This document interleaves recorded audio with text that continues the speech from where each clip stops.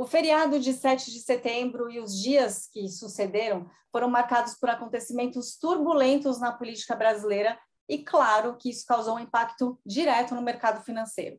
Eu sou a Mafelo Visoto e eu converso sobre esse assunto hoje com o Conrado Magalhães, que é analista político da Guide Investimentos. Tudo bem? Seja bem-vindo, Conrado. Obrigado, Mafê. Sempre bom estar aqui com vocês. Obrigada pela disponibilidade. Bom, Conrado, é, no dia 7 de setembro tivemos ameaças antidemocráticas, manifestações a favor, contra também o presidente Bolsonaro, e aí a cada declaração uma chacoalhada na Bolsa de Valores, né? Seja negativa ou positivamente. No dia 8, o Ibovespa caiu 3,78%, atingindo a maior baixa desde março, quando o STF anulou as condenações do ex-presidente Lula. Então, para começar, eu queria que você fizesse um resgate aí desses últimos dias, além de uma análise dos seus reflexos.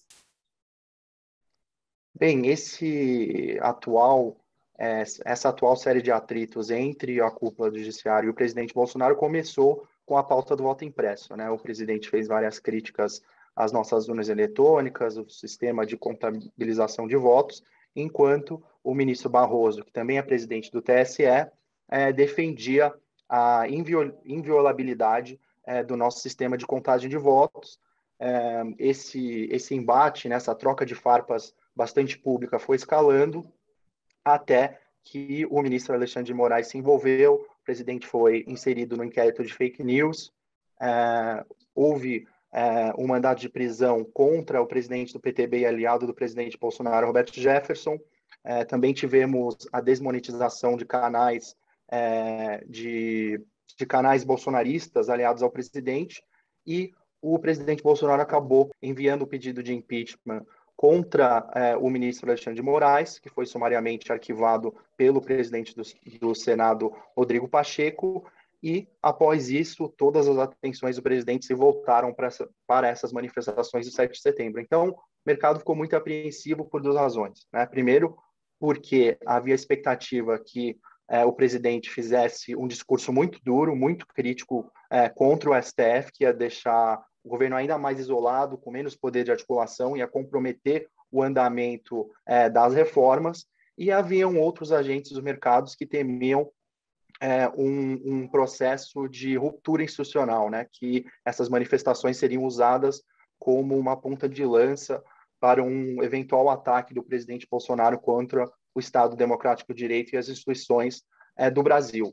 Acabou não acontecendo, é, mas como as críticas foram muito duras, o mercado acabou reagindo muito mal, né? ficou uma sensação de mal-estar é, e de pessimismo em relação à política, e não havia, pelo menos no dia em que as manifestações aconteceram, é, um término para esse embate em vista. Né? Então, é, mercado muito é, decepcionado com a fala do presidente, e muito pessimista em relação à capacidade do governo, é, bem, articular com os outros poderes e contribuir para uma série de soluções, né? Porque isso ocorreu dentro de um contexto é, de anseios fiscais, é, antes de um ano eleitoral, onde o presidente pretende é, expandir o número de beneficiados e o ticket médio do Bolsa Família. Temos também negociações em curso entre o STF e o governo para financiar é, aquele montante de 90 bilhões para os precatórios e também uma paralisia é, generalizada é, da pauta das reformas do Congresso. Né? Então, esse embate acontece dentro desse contexto muito preocupante e acho que o mercado reagiu a essa, esse pessimismo generalizado, né, que foi justamente a maior baixa desde, como você bem pontuou, desde o do retorno, né, da, da reinstauração dos direitos políticos do ex-presidente Lula. Perfeito. Nossa, você fez uma síntese incrível. Conseguiu é, resumir aí o ano inteiro nesse começo de entrevista, Conrado. E eu acho que vale ressaltar, achei muito importante o que você falou, porque a bolsa de valores ela gosta de estabilidade, ela não gosta de, de turbulência, né? Então independe aí de, é, enfim, a, a, bolsa não tem um político de estimação, né? Independe se é direita ou esquerda quem está no, no, poder? É, eu acho que a, o que a Bolsa gosta de ver é crescimento econômico, né? É, regulamentações que promovem é, a produtividade esse tipo de questões, né? Esse, esse embate estritamente políticos que não trazem nenhum benefício econômico para as empresas brasileiras é, acabam é, afastando o investidor, criando esse clima de insegurança, é, reduzindo a previsibilidade e, naturalmente, isso acaba se refletindo é, no índice.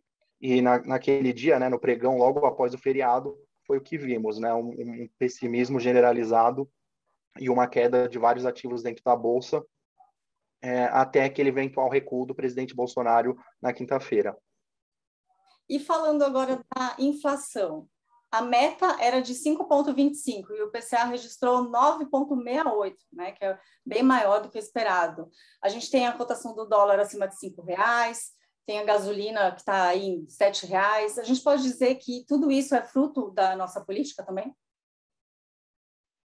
Não é tudo fruto da política. Eu acho que o presidente Bolsonaro contribuiu a esse cenário negativo, é, talvez gerando mais insegurança e causando uma fuga para o dólar, né? Que é o que geralmente acontece. Quanto maior o nível de segurança, mais atrativo se torna o dólar e o dólar, por sua vez, acaba impactando é, a inflação é, na medida que você tem que comprar insumos do exterior e também que os nossas exportações ficam mais atrativas, ficam mais baratas é, para o consumo externo, então isso acaba elevando o preço também. Mas eu diria que é uma, uma parte pequena da inflação, né? A maior parte da inflação que nós vemos agora é, está mais ali, é, é, mais um produto do, da retomada econômica, né?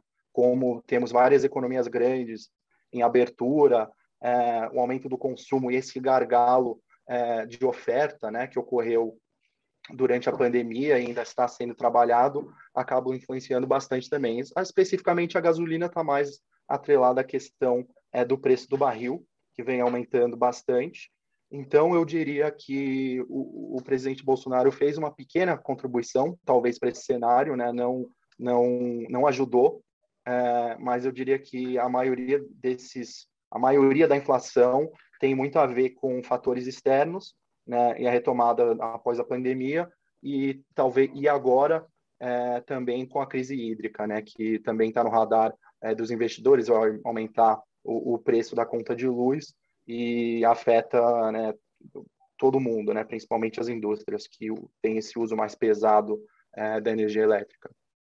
E como que isso afetou o bolso dos investidores? Olha, é, os investidores, é, você acaba tendo mais um problema sendo agregado àquela lista que eu falei. Né? Estamos lidando com, com essa Estamos agora num cenário mais otimista em relação à pandemia, né, principalmente no Brasil, é, que passou por, um, por, uma crise sanitária bastante severa, mas né, com uma retomada da. É, ou, ou, melhor, é, com a aceleração do plano de imunização, temos, estamos agora em um, em um cenário bem melhor, mas ainda existem dúvidas em relação é, a uma abertura plena, variante Delta, a necessidade de até uma terceira dose para certas certa parcela da população.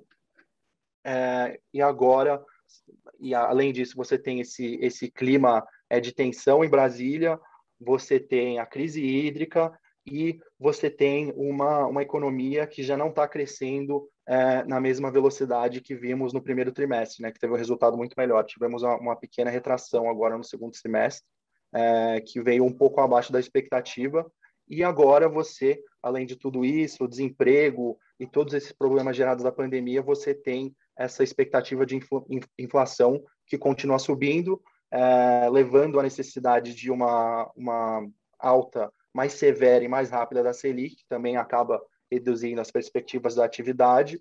Então, é um cenário bem complicado e eu acho que a inflação vem agregar é, a esses vários pontos de incerteza que o investidor está é, olhando. Muitos desafios mesmo. Então, é, você acha que o investidor ele tem que ter mais cautela nesse momento? Como é que fica a conduta dele na hora de investir é, em ações, por exemplo?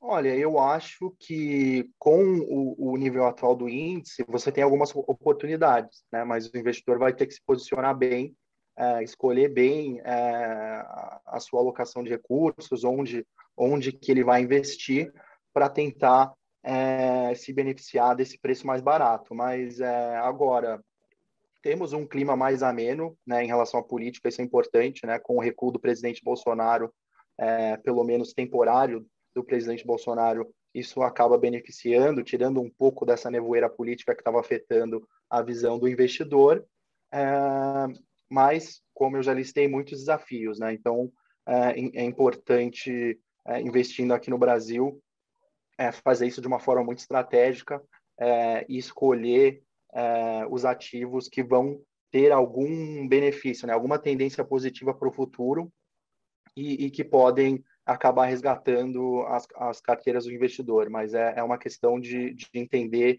é, cada papel individualmente, as dinâmicas que estão é, determinando o, o valor desses papéis. Mas você tem uma visão otimista para um futuro próximo ou a, a médio prazo?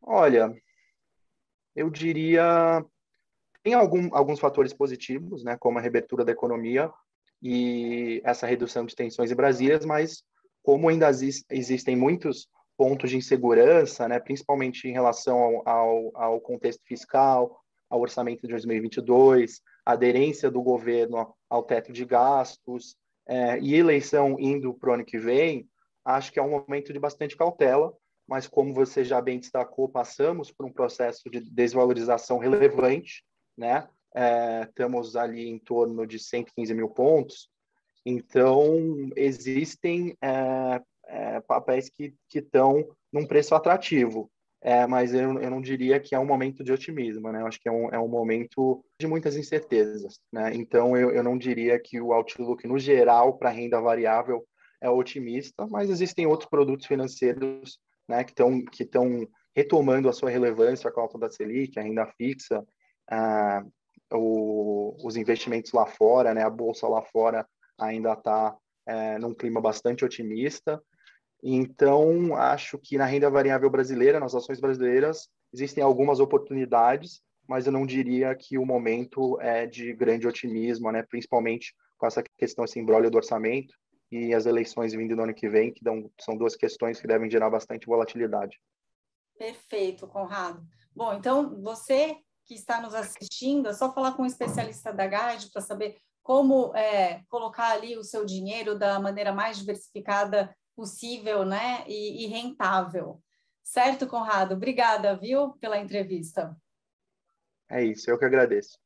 Até a próxima.